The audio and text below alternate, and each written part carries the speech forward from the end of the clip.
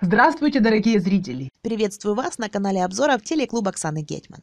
И сегодня я вам расскажу, что же мы увидим во второй серии пятого сезона шоу «От пацанки до понянки».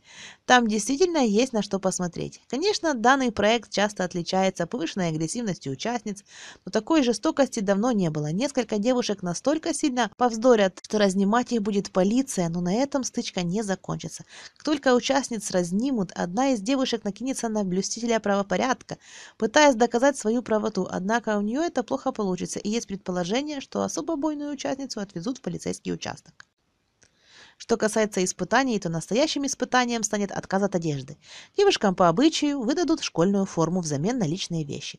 Однако немногим такой обмен понравится. Несколько участниц даже окажутся на грани вылета из школы леди из-за того, что не будут отдавать личные вещи. Но что же все-таки победит, желание носить собственную одежду или возможность исправиться?